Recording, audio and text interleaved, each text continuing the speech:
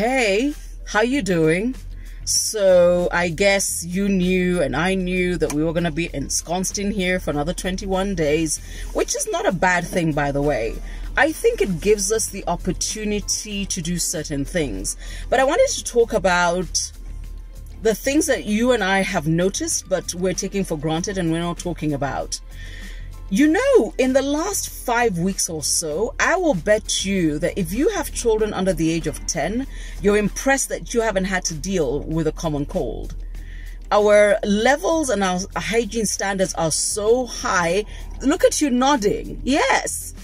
Because this little rain we've had, you know, we would without a doubt have been dealing with some little strain or other of something. That hasn't happened. The other thing that I find interesting, and I don't know whether you've been, you know, working intermittently like I do, you know, I'm I'm 50% home, 50% in the office, is our efficiency levels. Especially if you do need to get out and about. Have you noticed that you know for a fact that because a working day ends at about 4:30, not 5, curfew's at 7, but things that need to get done need to get done by 4.30 last orders need to be in by 4.30 that to be delivered things need to be done by 4.30 we're so efficient with our time. It's amazing. But i'm also concerned that one of the things that we haven't used our time to do and i think this um this the next 21 days are we at 18 i don't know. Should be used on figuring out the how Okay, let me put this into context. A couple of weeks ago, probably about four weeks ago, just as we were going into our national quarantine, um, Singapore's coming out of theirs, and um, so was uh, South Korea and Japan. But do you remember what happened? Within literally two weeks, they had to go back into basics again. And in fact, in the case of Japan, remember they declared a state of emergency in some areas. Yeah? We need to figure out the how. Um, and it doesn't matter what sector you're in, the how needs to be the conversation. It's called the plan. There's an idea and then there is the plan.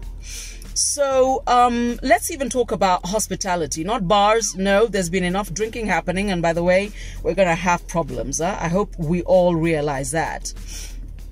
But what we need to figure out is let's start with just, you know, um, hotels and restaurants. Let's do restaurants. Let me pick some of my favorites CJ's, um, Java, and maybe Art Cafe. Okay, so you're open. How? I think that number one, we will all have to actually book.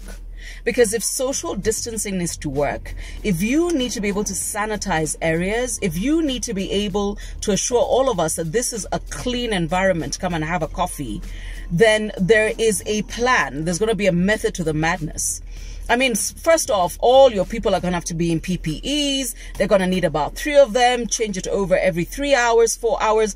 I mean, when you th start thinking about it, even the way hospitality will look will be very different. Think about it. But I think we will have to make an appointment to come for coffee.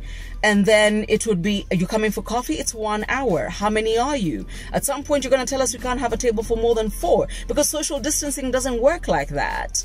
Um, if we're coming for lunch, we'll have to book. And because you're in business, you've got to turn over the table. So it's not just a matter of two covers, it's two covers over. Uh-huh.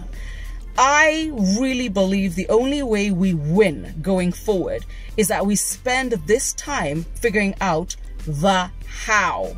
Not when, not what, how. And I think this is for everybody. Banks, supermarkets, everybody. We need to start figuring out the how. Let's use this time to create the plan. And then, of course, the next thing we'll have to do is communicate it. But I think if we police ourselves, nobody will need to police us. And also, if we plan ahead, it will mean that we don't roll back. So we don't come out of almost two months of, of trying to flatten our curve and then our curve goes, you know, through the roof.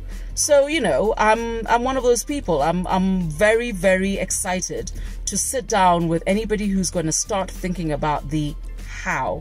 Not when, mm-mm, the how. The how. The plan is important. Okay? Look after yourself and um, have a great time thinking through how.